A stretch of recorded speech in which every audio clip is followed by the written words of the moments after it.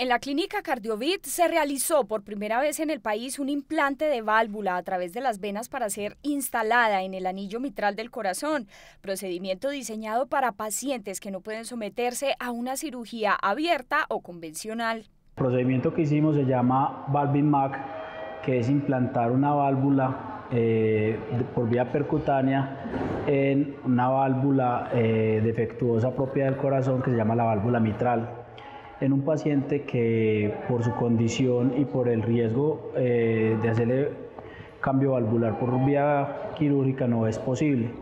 El procedimiento aplica para pacientes con una condición de salud especial. Quienes son sometidos a él en tres y cuatro días pueden regresar a sus labores cotidianas. En este caso, a quien se le instaló la válvula tenía calcificado el anillo mitral, por lo que era necesario que el dispositivo le dirigiera el flujo sanguíneo.